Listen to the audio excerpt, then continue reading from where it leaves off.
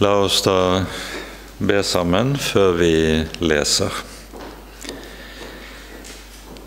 Nå takker og lover vi deg igjen, Herre vår Gud og vår klippe, at vi skal få lov til å kalles dine barn og stå under din omsorg.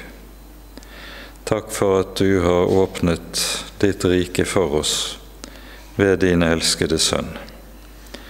I ham har du slettet ut alle våre synder. I ham har du båret all vår nød, og i ham har du gitt oss håp og evig liv. Vi takker og lover deg, Herre, for all din godhet og for all din nåde imot oss. Nå ber vi, gode Herre, at du må være hos oss denne kvelden med din Hellige Ånd. Gi oss lys i ordet ditt, for at vi også må få vandre for ditt åsyn og bli bevart til det evige liv. Det ber vi i vår Herres Jesu navn. Amen. Selv om vi da gikk igjennom de første versene i det 13. kapittel i Hebreabrevet sist gang, så gjør vi det likevel slik at vi leser hele kapittelet i sammenheng, nettopp for sammenhengen sin skyld. I Faderens, Sønnens og Den hellige ånds navn. La broderkjærligheten vare ved. Glem ikke gjestfrihet, for ved den har noen hatt engler til gjester uten å vite det. Husk på dem som er i fengsel, som om dere var fanger sammen med dem, likeså dem som blir mishandlet, for dere er jo selv i legeme. La ekteskapet holdes i ære av alle, og ektesengen være usmittet, for Gud skal dømme dem som driver hor og bryter ekteskapet. La deres ferd være fri for pengekjærhet, så dere er fornøyd med det dere har. For han har sagt, Jeg skal ikke slippe deg og ikke forlate deg. Derfor kan vi tillitsfullt si, Herren er min hjelper, jeg skal ikke frykte. Hva kan et menneske gjøre meg? Husk deres veiledere de som har talt Guds ord til dere.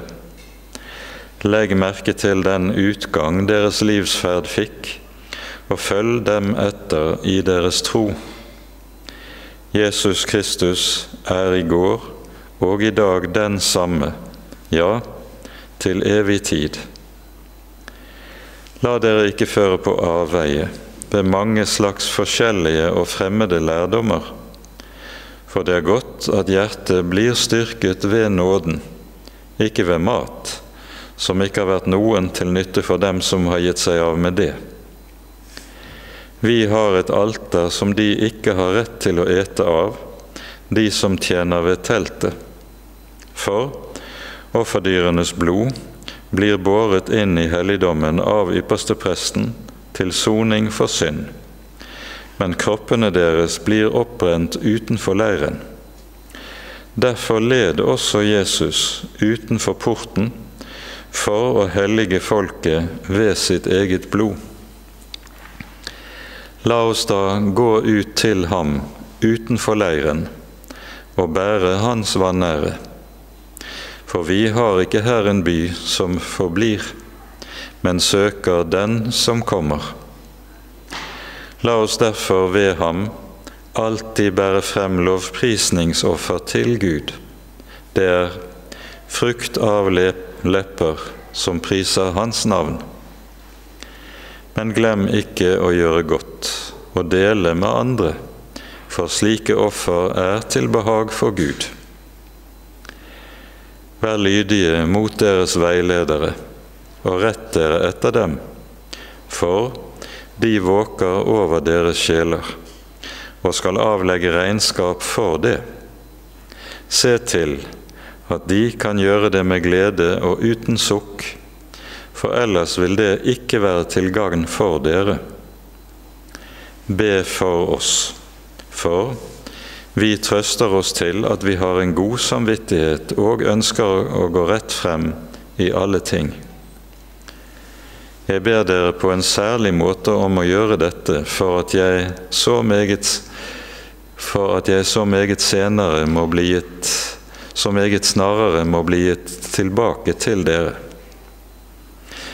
Men fredens Gud, Han som i kraft av en evig pakts blod førte fårenes store hyrde, vår Herre Jesus, opp fra de døde.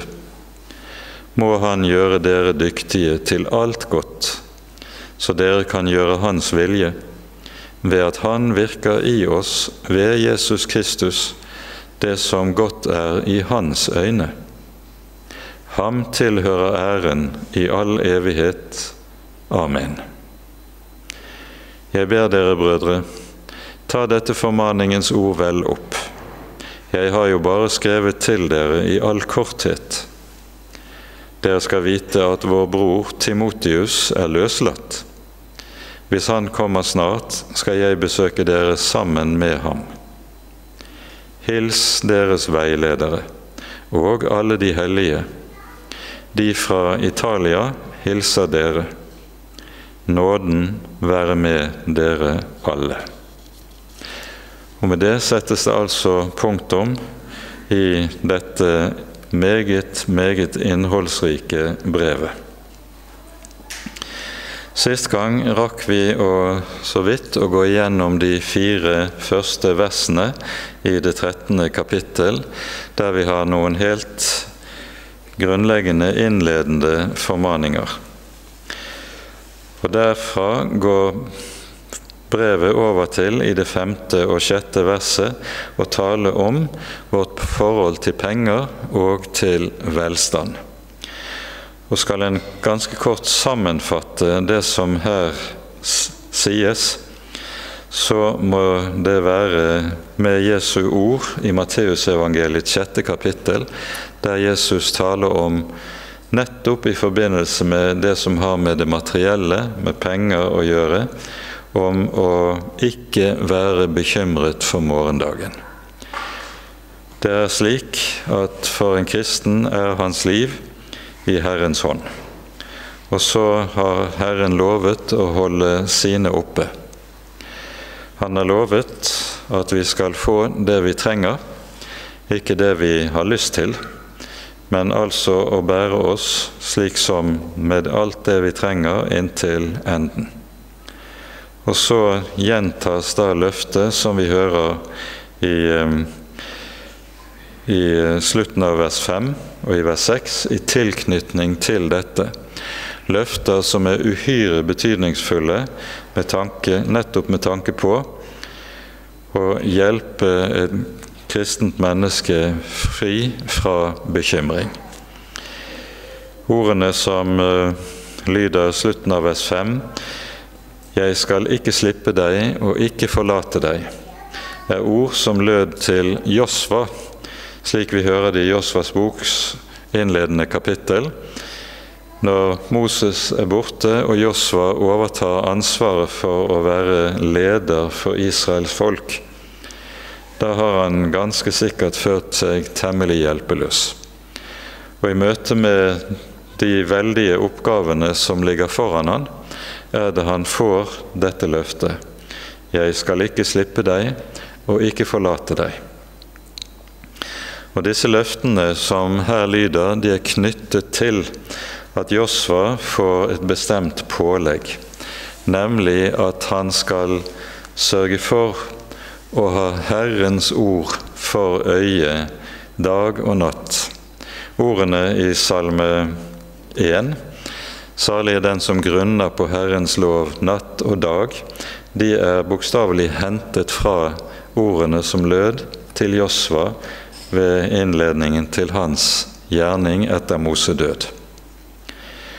Og så gir Herren dette løftet at når Josfa har Herrens ord for øye, grunner på Herrens lov natt og dag, så har Herren lovet 'Jeg skal ikke slippe deg og ikke forlate deg'. Og så kommer løftene som lyder i neste vers fra Salme 56 og Salme 118. Kommer vi så til det syvende verset, så kommer en, noe som kanskje oppfattes som en litt underlig formaning. Kom i hu, husk deres veiledere, de som har talt Guds ord til dere. Her er det altså tale om noen som har vært veiledere for menigheten, som har ført dem inn i Guds ord, som er deres åndelige fedre, og som altså har hatt den aller største betydning for de troende som brevet er rettet til. Og nå lider det dere skal ikke glemme disse. For svært, svært mange kristne er det slik at de har hatt åndelige fedre som så å si har betydd forskjellen på liv og død for dem. Åndelige fedre som har fått lukke opp Guds ord for dem. Åndelige fedre som har kunnet vise dem evangeliet, det evangeliet som er slik at en aldri mer vil miste det. Det er slike fedre det taler om her.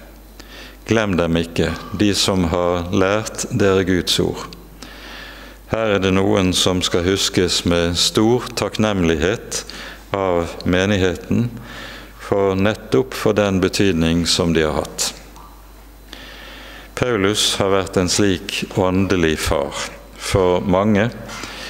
Han sier uh, i første Korinterbrev Vel har dere mange lærere, men det er ikke mange åndelige fedre. Men den som er så heldig og har fått slike åndelige fedre, han har fått med seg en stor, stor velsignelse. Glem dem ikke, sies det. Og så sies det, legg merke til utgangen av deres ferd, og følg dem etter i deres tro. Det sies altså ikke at vi skal følge dem etter i deres ferd, for Herren leder sine tjenere på ulike veier. Og Derfor er det også slik at det som påligger oss, er ikke at vi skal kopiere våre åndelige fedre. Det vi skal holde fast ved, er den tro som de vitnet om. Jeg har sett mer enn én en gang at det har vært en fristelse, særlig for unge kristne, når de møter nå en troende far som har fått stor betydning for dem. Da vil de gjerne også kopiere vedkommende. Jeg husker eh, i studietiden at der eh, var en del unge som nesten kopierte måten bestemte åndelige lærere talte på, tonefallet deres osv. Den slags er ikke tingen. Det det handler om her, etterfølg deres tro, sies det. For det handler om hvilket Guds ord de har lært oss, og det er dette Guds ord vi skal holde fast på, og holde fast på med takknemlighet. Og så begrunnes dette med det ordet som kom, kommer i neste vers. Jesus Kristus er nemlig den samme i går og i dag og til evig tid. Jesus forandrer seg ikke fra generasjon til generasjon. Troen utvikler seg og endres ikke fra generasjon til generasjon. Troen er grunnleggende ett, fra slekt til slekt. Og Derfor understrekes det med så stor styrke nettopp her i dette verset Jesus Kristus er den samme. Han er den samme for deg og meg som han var det for våre fedre. Han den samme, var den samme for våre fedre som var det, han var det for Herrens apostler. Troen det basale og grunnleggende i troen som gis oss gjennom Guds ord, det er noe som ikke endres gjennom tidene. Det står der til evig tid. Og Her kunne vi kanskje passende minne om ordene i innledningen til det 15. kapittel i 1. Korinterbrev, som et overmåte sentralt avsnitt i så måte. Her står det slik i de tre første versene. Jeg kunngjør dere, brødre, det evangelium som jeg forkynte for dere, det dere også har tatt imot, og som dere også står fast i.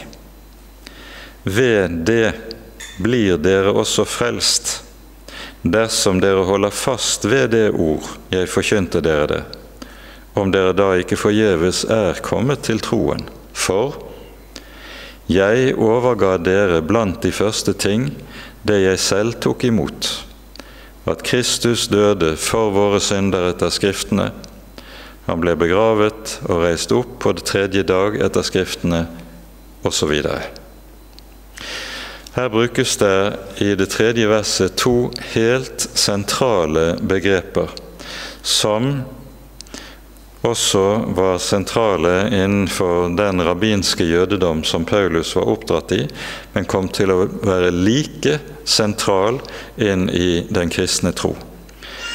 Begrepene i vers 3 er det å ta imot og å overgi.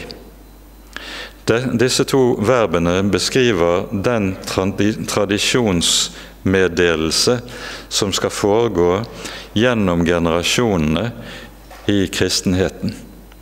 En har tatt imot Guds ord. Og det Guds ord som er mottatt, det hører vi i de to første versene, det er det evangelium som det sies, som dere blir frelst ved dersom dere holder fast ved det. Det er dette de har tatt imot. Og dette som de har tatt imot, det skal de også gi videre. De skal overgi det.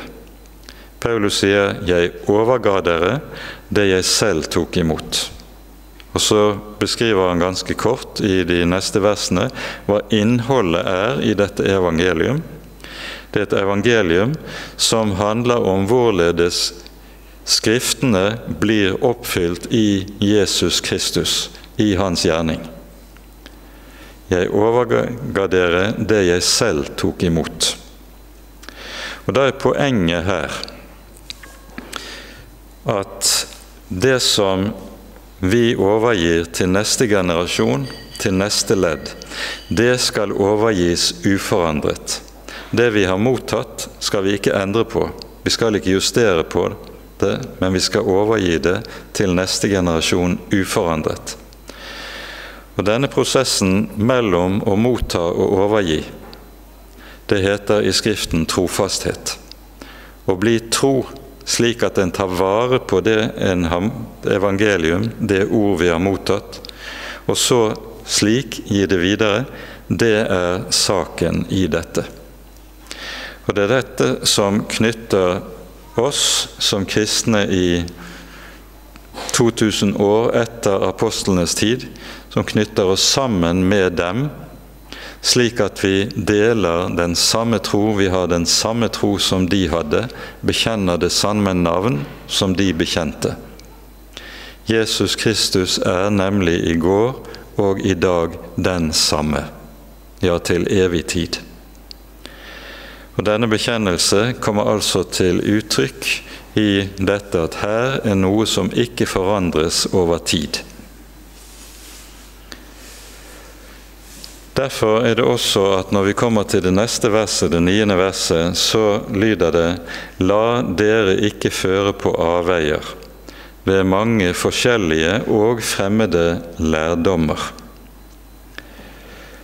Verden er full av ulike slags lærdommer og tanker som kan fortone seg både riktige og fristende for de kristne å hoppe på og ta inn.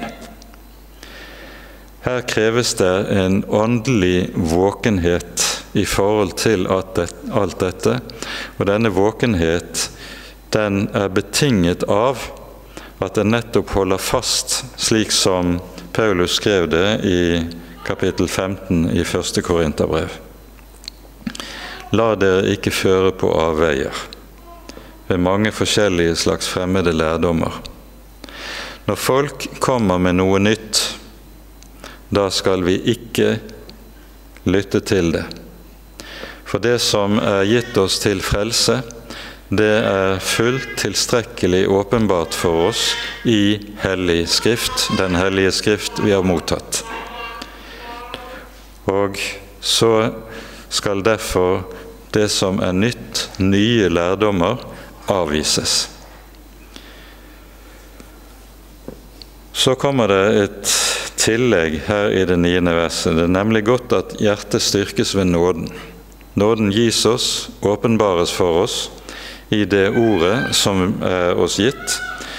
Og så står det 'men ikke ved mat', som ikke har vært til noe nytte for dem som har gitt seg av med det.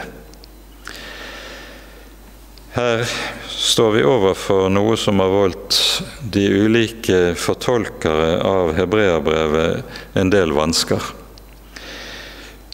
Vi møter jo hos Paulus grupperinger som eh, var forkjempere for avhold, faste, det å holde seg fra ulike typer mat, det skulle være spesielt ganglig åndelig. F.eks.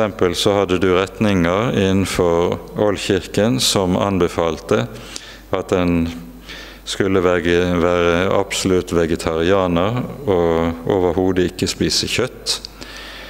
Det ble sett på som noe som var åndelig ganglig.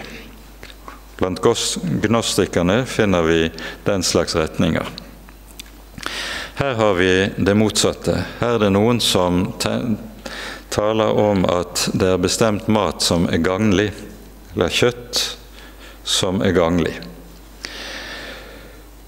Det som sannsynligvis er betydningen av det, det, her, det som her behandles, det gis av sammenhengen som kommer i de neste versene, der det taler om offertjenesten i den gamle pakt. Det var nemlig slik med en del av ofrene som ble båret frem i eh, helligdommen i Jerusalem, at der hadde de ofrene anledning til å spise og ta del i offeret. Og Da var det også slik at når en åt av offeret, så fikk en del i den velsignelsen som offeret bar med seg. Hebreerbrevet har jo som et hovedtema at den gamle pakt er nå erstattet av at det er gitt oss en ny pakt i Jesu Kristi blod. Og Den nye pakt i Jesu Kristi blod gjør at den gamle pakt med dens ofringer ikke lenger har noen gyldighet eller er til noe gagn for de troende. Og Sannsynligvis er det det som det siktes til her. Dette gir seg også ut av det som er sammenhengen i hebreabrevet, fordi det jo er slik, som vi har vært inne på ved en rekke anledninger, at brevet nettopp er skrevet til en gruppe jøder som fristes til å vende tilbake til sitt jødiske opphav, fordi deres bekjennelse av at Jesus er Messias, hadde kostet dem så meget at de stilte spørsmål om er det i det hele tatt verd å forbli i troen på Jesus når det har sånne omkostninger. Så for min del så tror jeg dette er den rimeligste forståelsen av det som vi leser her i det niende verset når det taler om mat. For når vi så kommer til vers 10, så møter vi en ny påminnelse av forskjell, om, om, forskjellen på den gamle og den nye pakt. Og Her møter vi en billedtale som har utgangspunkt i det som skjer på den store forsoningsdagen i eh, Israels folk, den store forsoningsdagen slik den ble feiret i tempelet. Nå sies det altså 'Vi har et alter' som de ikke har rett til å ete av, de som tjener ved teltet. De som tjener ved teltet, det er betegnelsen på de som står for offertjenesten i tempelet i Jerusalem, den gamle pakts offertjeneste. Og så sies det altså vi som troende kristne, vi har et annet slags alter. Et alter som de ikke har rett til å ete av. Og hva er det alter som er vårt alter? Det er Golgata. Golgata er det alter der Guds sønn, som vår ypperste prest, ble ofret for våre synders skyld og ved sitt blod helliget oss. Dette er det alter som er vårt alter. Og det alteret har vi rett til å ete av. Og Det er dette Jesus henspiller på i Johannesevangeliet i det sjette kapittel, når han sier at 'han er livets brød'. Den som eter mitt kjøtt og drikker mitt blod, han har evig liv og kommer ikke til dom. Dette er det alter du og jeg har rett til å ete av, og det er dette alter vi også eter av når vi samles om Herrens bord. For her er saken den at det offeret som ble ofret på Golgata, det mottar vi i ordets mest bokstavelige forstand når vi samles om nadværbordet og tar imot Kristi legeme og blod i den hellige nattvær. Vi har et alter som de ikke har rett til å ete av, de som tjener ved teltet. For Offerdyrenes blod blir båret inn i helligdommen av ypperstepresten til soning for synd, men deres kropper blir oppbrent utenfor leiren. Derfor led også Jesus utenfor porten for å hellige folket ved sitt eget blod. La oss da gå ut til ham utenfor leiren og bære hans vanære. Det som er bildet her, det er at Jesus, når han korsfestes, så reises Jesus kors utenfor byporten til Jerusalem. Jesus dør ikke innenfor leiren, innenfor tempelområdet, men utenfor leiren. Og på samme måte var det med ofrene på den store forsoningsdagen. Disse ofrene skulle brennes opp utenfor leiren.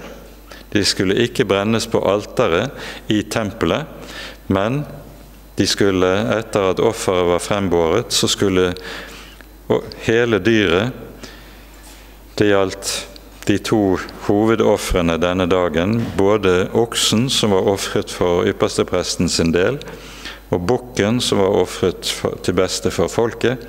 Begge to skulle brennes i sin helhet utenfor leiren og ingen, intet, ingen del av kjøttet skulle nytes eller fortæres, verken av prestene eller noen i folket.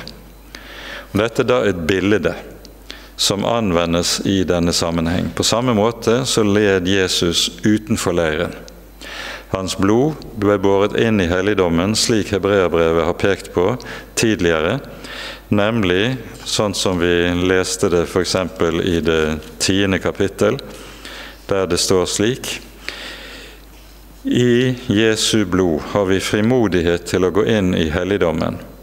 Til den har Han innviet for oss en ny og levende vei gjennom forhenget, det er Hans kjød.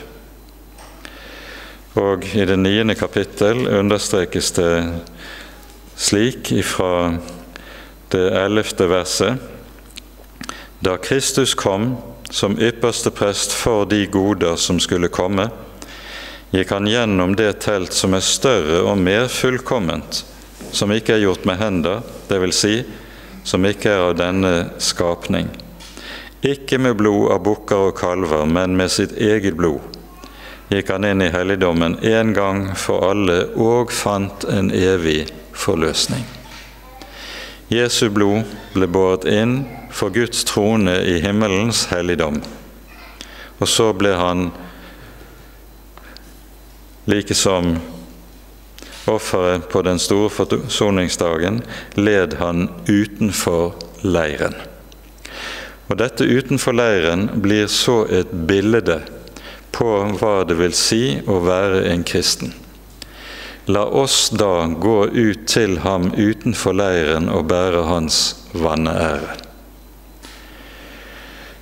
For hebreerne, som brevet er rettet til, var det å tro på Jesus ensbetydende med å bli satt utenfor. De var satt utenfor folkefellesskapet pga. sin tro på og bekjennelse av Jesus. Og dette har stadig oppover gjennom historien vært den sanne kristne menighets kår. Det er å være satt utenfor. Det er det Jesus taler om i sin ypperste prestelige bønn, når han sier at de som hører ham til, de er nok i verden, men ikke av verden.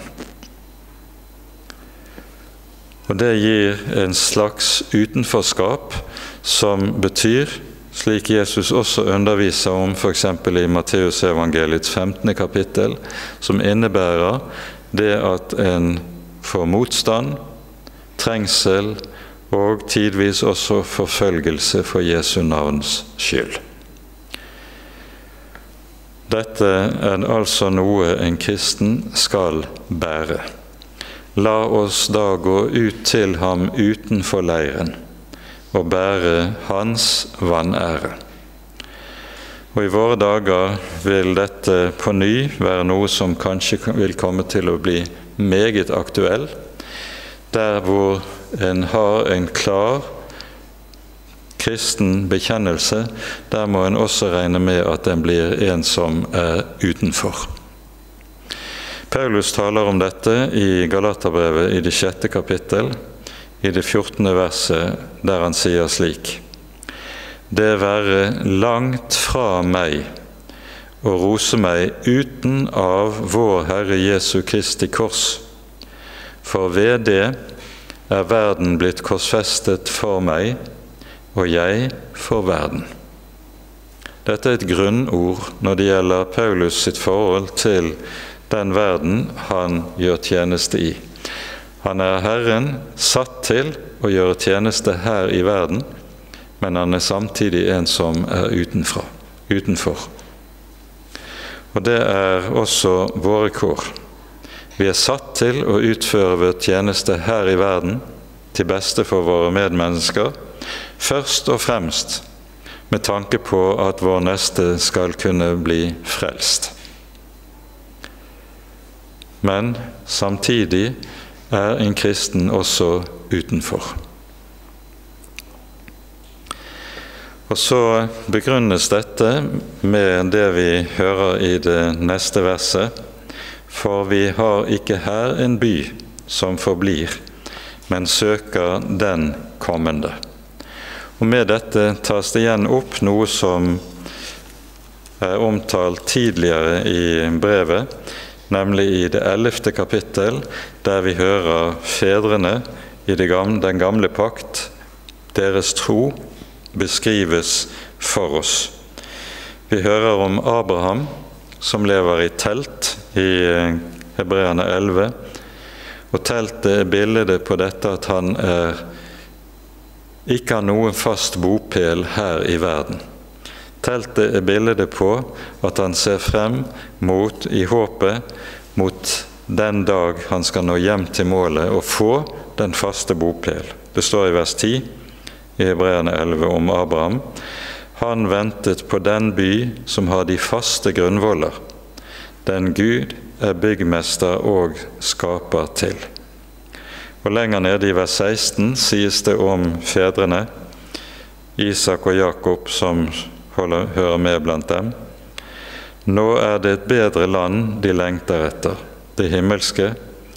Derfor skammer ikke Gud seg over dem ved å bli kalt deres Gud, for han har gjort en by ferdig til dem.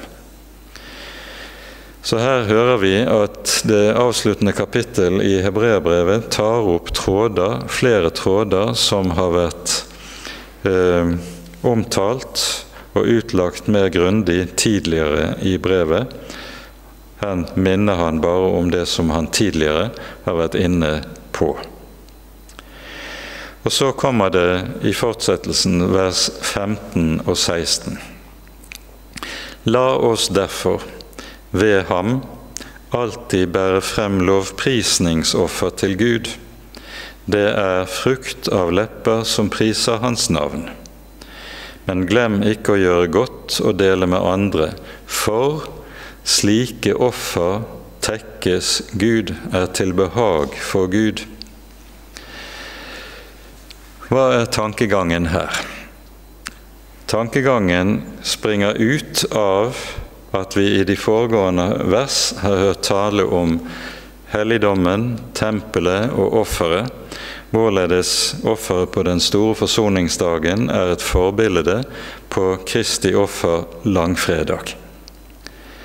Og så er det at vi som kristne også har en tempeltjeneste. Dette omtales ganske særlig i 1. Peters brev og i um, Johannes' åpenbaring, der vi tar oss tid til å lese et par vers fra 1. Peter 2.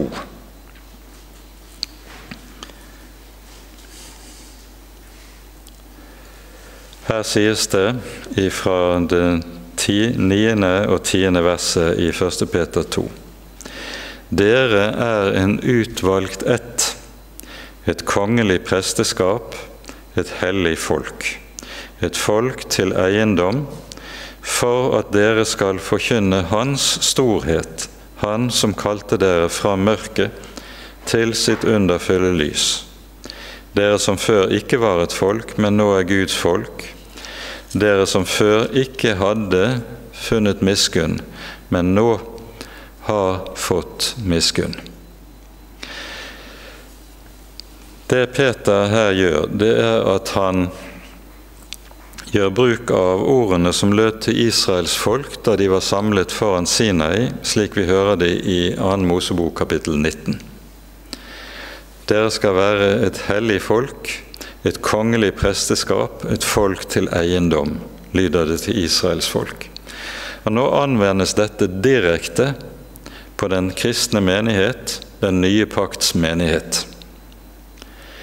De, den nye pakts menighet, vi, har del i det samme løftet og det samme kår. Og Med bakgrunn i dette taler Martin Luther om det som kalles for det kongelige presteskap. Alle kristne er prester. Ikke prester i samme betydning som undertegnede er prest, for her brukes det to helt forskjellige begreper for disse to tjenestene i Det nye testamentet. Når det sies om de troende, alle troende, at dere er et kongerike av prester, så brukes det det ordet for prest som i Det gamle testamentet anvendes på prestetjenesten i tempelet. Og den som var prest i tempelet, han hadde ansvar nettopp for å bære frem offer for Gud. Og dette er et kall som alle kristne altså har, ifølge det vi nå leser her i Hebreerne 13. Og han beskriver to sider ved denne offertjenesten. Vers 15 lovprisningsoffer. Dernest det å gjøre godt mot andre dette kalles også for et offer. Hva er poenget med dette? Poenget er at slik som Det gamle testamentet taler om ofrene, så er det to grunntyper av offer. Den ene grunntypen er offer som har sonende betydning. Offer som altså soner synd og er grunnlag for at synd blir tilgitt. Er det slike offer vi som et kongerike av prester er satt til å bære frem, det er det ikke. Det offer som har sonende betydning, det ble frembåret av vår Herre Jesus på korset. Sonofferet ble frembåret der. Den andre grunntypen av offer, det var det som kalles for takkoffer eller fredsoffer eller matoffer. Det er flere betegnelser for dette i Mosebøkene. Felles for er, disse er altså at det er takkoffer. Og Poenget er at takkofrene kunne kun bæres frem etter at det var båret frem sonoffer. Og så forstår vi tankegangen i Det nye testamentet er følgende. Når de troende er prester, et kongerike av prester, så er det Jesus som vår ypperste prest som har båret frem det sonende offer. Og så er du og jeg slike som er prester i det fullkomne Guds rike, og bærer frem takkoffer for Gud. Og Dette takkofferet det hører delvis med til det som er gudstjenesten, lovprisningsoffer, og så tjenesten for nesten i hverdagen. Og Dette lærer oss noe som er helt grunnleggende, nemlig at drivkraften i det kristne liv det er først og sist takknemlighet. Takknemlighet for hva Herren har gitt oss når Han har sonet våre synder, født oss til å være Guds barn og gitt oss et evig håp. Paulus taler om dette i Romerbrevets tolvte kapittel, der vi som innledning til det formanende avsnitt i Romerbrevet hører Paulus si følgende. Jeg formaner dere altså, brødre, ved Guds miskunn, at dere fremstiller deres legeme som et levende og hellig offer til Guds behag. Dette er deres åndelige gudstjeneste. Vi skal fremstille oss selv for Guds ansikt som et levende og Gud velbehagelig offer. Og det er takkoffer det her er tale om. Det er det hellige presteskapet. I Johannes' åpenbaring hører vi saken omtales en rekke ganger. Um, I lovsangen som vi hører i det femte kapittel i åpenbaringsboken, den himmelske lovsangen, der står det følgende De lovsynger lammet. Og så står det i åpenbaringen 5, vers 9 og 10. Verdig er du, Guds lam, til å ta imot boken og åpne seilene på dem, fordi du ble slaktet og med ditt blod kjøpte oss til Gud, av hver stamme og tunge og folk og ett, og gjorde dem til et kongerike og til prester for vår Gud. Med sitt blod har lammet gjort dette for oss, gjort oss til et kongerike av prester. Og Derfor er det altså slik at det kristne livet og den kristne tjenesten står under dette perspektivet. Det er en offertjeneste for Gud, der vi bærer våre liv frem, våre hjerter frem, vår lovsang frem for Gud som takkoffer, fordi sonofferet allerede er frembåret. Dette er altså det kongelige presteskapet. Og eh, dette det ordet som vi bruker når det gjelder prestetjenesten i vår dagligtale, det er et annet ord etter grunnteksten. Det er det greske ordet 'presbyter', som egentlig betyr 'eldste', og som når ordet 'presbyter' fornorskes, så er det blitt til vårt ord 'prest'. Men det er altså et helt annet begrep som anvendes. Han som er prest, presbyter, i den kristne menighet i den nye pakt, han er ikke en som ofrer for menighetens synder, men han er en som er satt til å være lærer med Guds ord for Guds folk. Det er altså et læreembete, ikke et offerembete. Og dette er viktig å være klar over. Selve poenget har den største betydning rent kirkehistorisk under reformasjonen, i det det er slik at en av de grunnleggende saker som reformasjonen gjorde opp med i forhold til den romersk-katolske kirke, var at i den katolske kirke så er han som er prest, han er offerprest. Han er ikke først og fremst tjener med Guds ord, han er offerprest.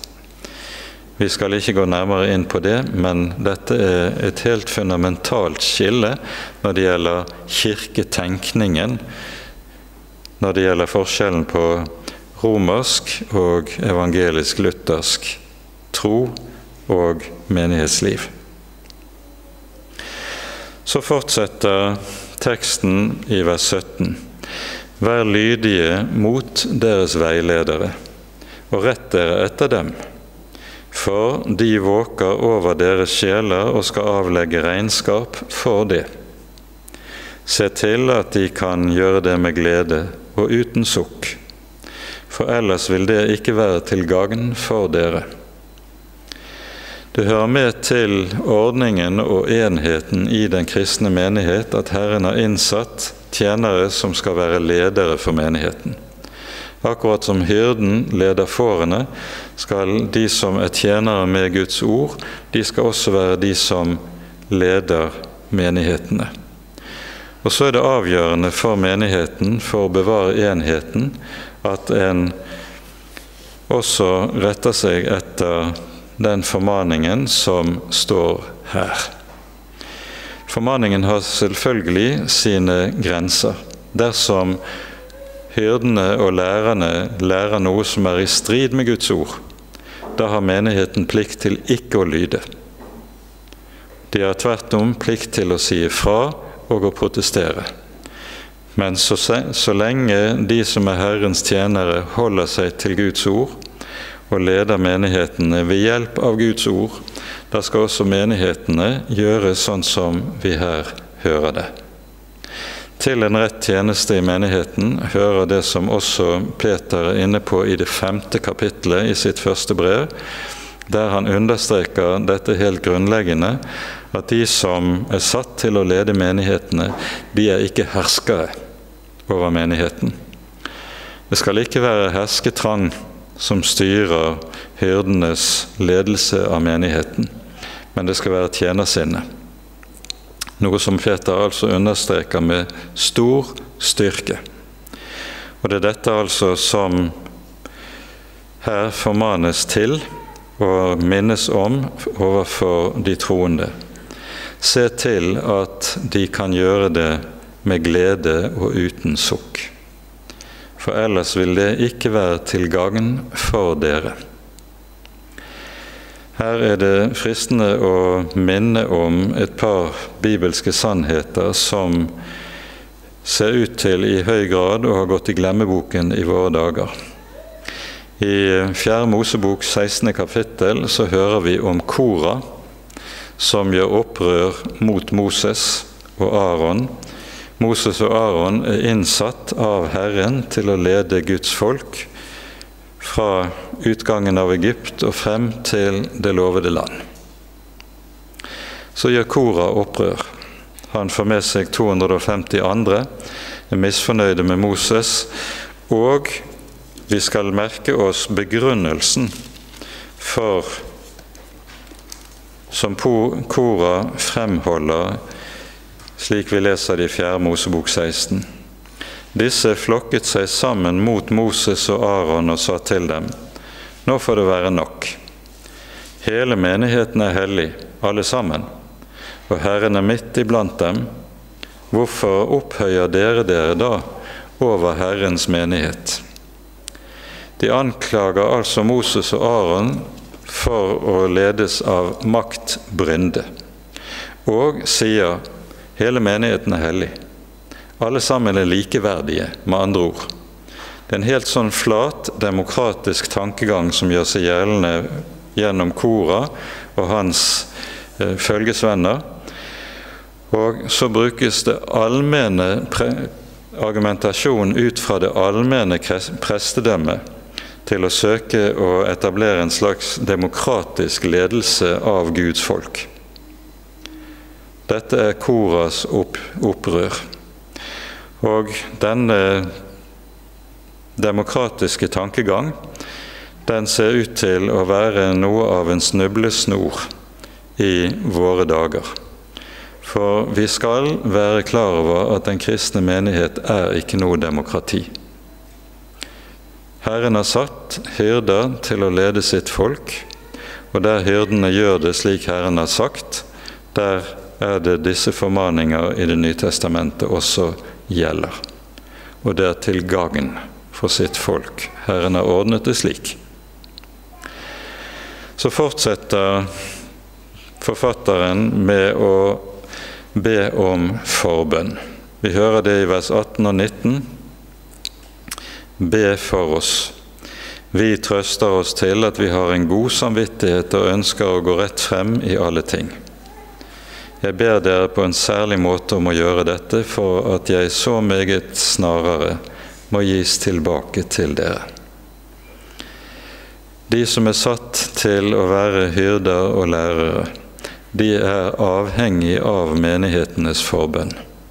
Og Dette kan ikke understrekes sterkt nok, for dette er helt avgjørende også med tanke på den enhet som skal råde mellom de troende i menighetene.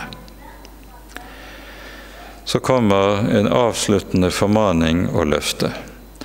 Jeg vet ikke om det er riktig å kalle det som står i vers 20 og 21 som formaning.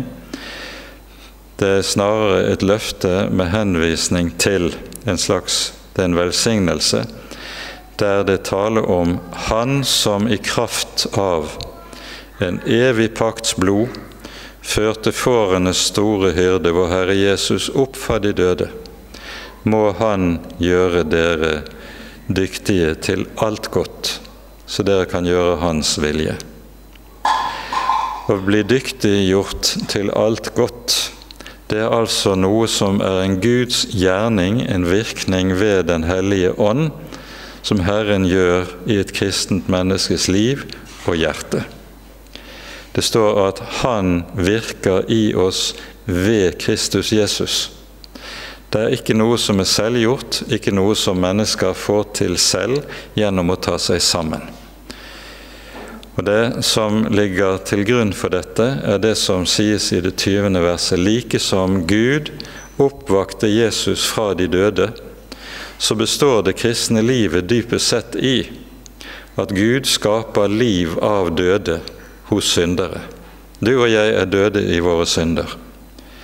Og så kommer Han som vakte Jesus opp fra de døde, og skaper liv av døde i våre liv. Og det er dette som er så å si den virkelige og reelle kjernen i alt sant kristent liv. Du er død og korsfestet sammen med Jesus, og du er oppreist i kraft av hans oppstandelse, slik Paulus skriver det i Romerbrevet sjette kapittel. Og derfor er det kristne liv dypest sett Kristi oppstandelsesliv som utfolder seg i et kristent menneskes hjerte og hverdag. Det er dette det taler om her. Og dette virkeliggjøres ved at en kristen lever i og ved og gjennom Kristi ord. Og Da tror jeg vi skal minne om ordene i 2. Timotius brev i det tredje kapittel, der det taler om hva Skriften bevirker, hva Skriften utvirker, hva som er Guds ords frukt i kristne menneskers liv og hjerte. Det står 2. Timotius 3, vers 16 og 17. Den hele Skrift er innåndet av Gud. Altså Gud har blåst sin hellige ånd inn i de hellige skrifter. Og Skriften er nyttig til lærdom, overbevisning, rettledning, opptuktelse i rettferdighet, for at det Guds menneske skal være fullkomment, satt i stand til all god gjerning. Dere ser ordlyden her svarer ganske nærmt til ordlyden i Hebreerne 13 som vi har lest. Når Kristus virker alt dette i et kristent menneskes liv og hjerte, så skjer det gjennom Hans eget ord. Og Derfor er det, det er så avgjørende at kristne mennesker blir i Ordet, lar seg opplære av Ordet, grunner på Herrens lov dag og natt, som vi står i Salme 1, for det er ved Ordet Jesus utfører sin gjerning i oss og med oss. Så avsluttes det ganske kort Jeg ber dere, brødre, ta dette formaningens ord vel opp. Jeg har jo bare skrevet til dere i all korthet. Så minnes de om Timotius. Han er løslatt. Vi hører ikke tidligere i Det nye testamentet i forbindelse med Paulus sine brever noe om at Timotius har vært fengslet. Det er sannsynligvis da noe som har skjedd etter at Paulus led martyrdøden i Roma.